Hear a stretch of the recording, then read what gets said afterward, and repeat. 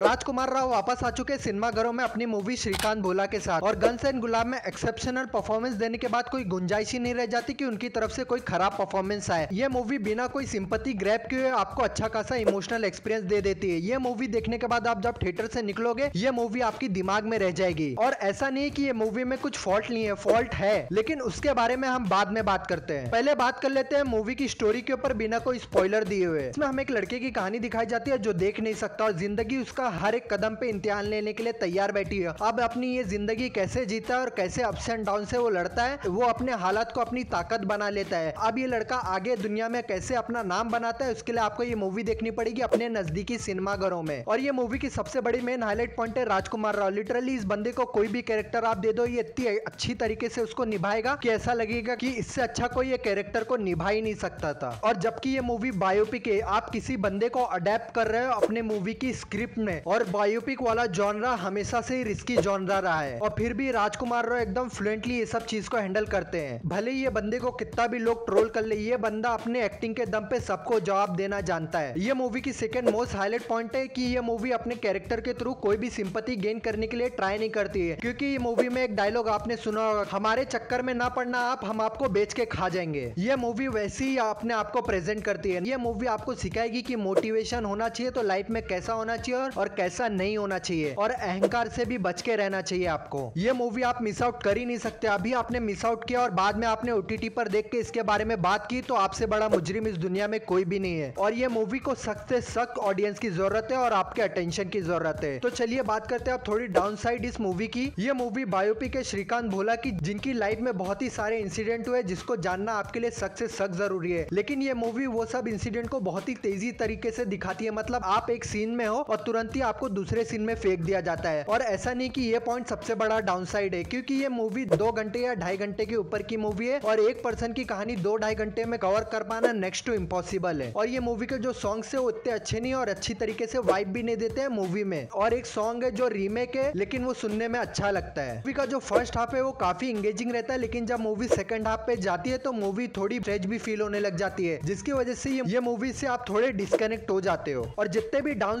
मैंने आपको बताया ये मूवी के, उसकी वजह से आपको ये मूवी स्किप नहीं करनी है। ये मूवी के ये डाउन साइड जो है, वो आप इग्नोर भी कर सकते हो। एज ए रिव्यूअर मुझे हर चीज़ पे ध्यान देना पड़ता है कि मूवी कहाँ कमज़ोर पड़ रही है और कहाँ स्ट्रॉन्ग पड़ रही है। लेकिन एज अ ऑडियंस ये आपको अच्छा खासा इंटरटेन करने वाली है। और आप फैमिली के साथ बिना संकोच के ये मूवी देखिएगा, आपको फुल इंटरटेनमेंट मिलने वाला है। ये मूवी का जो दो घंटा रहेगा, आपको पता भी नहीं चलेगा कि कहाँ चले गए। अगर आपने ये मूवी देख लिया है तो कमेंट करके मुझे ज़रूर बताइएगा कि आपको ये मूवी कैसी लगी। अगर आपको इस रिव्यू से जरा भी हेल्प इस चैनल को सब्सक्राइब करेगा वीडियो को लाइक करेगा शेयर करेगा तो मिलते हैं अगले रिव्यू और रिकमेंडेशन में।